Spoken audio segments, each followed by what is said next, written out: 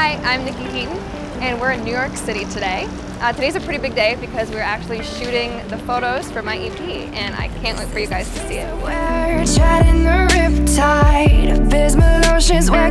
The EP's called Bad Intentions, and I decided to call it that because Bad Intentions was the first single that I released, and I feel like it kind of just set the tone for my entire project, so there was really no other option.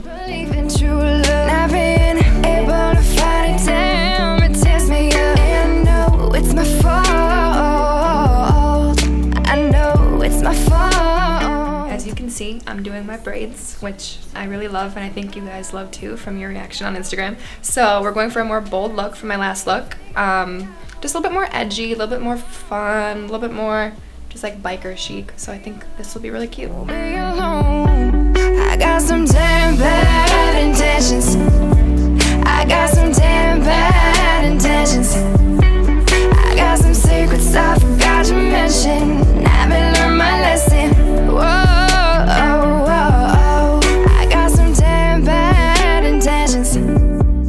So I just shot the last look of the day and I think it went pretty well. Um, but I guess you'll have to just wait and see.